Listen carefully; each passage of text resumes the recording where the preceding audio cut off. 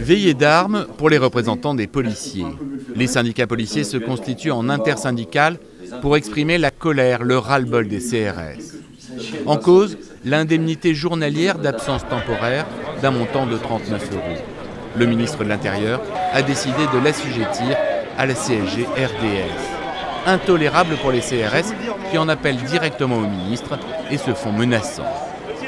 Parce qu'aujourd'hui, mes collègues CRS, les 10 000 CRS employés quotidiennement, ressentent ça comme une défiance, comme une provocation.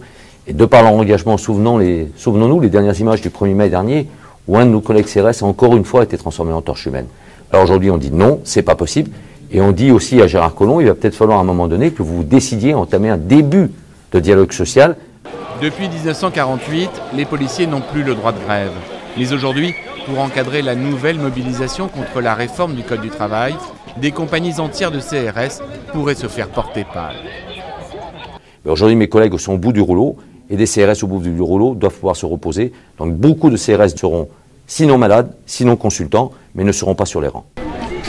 Dans un contexte social agité, les CRS sont en première ligne, mais eux aussi ont des revendications et ils entendent bien que cela se sache jusqu'à l'Élysée.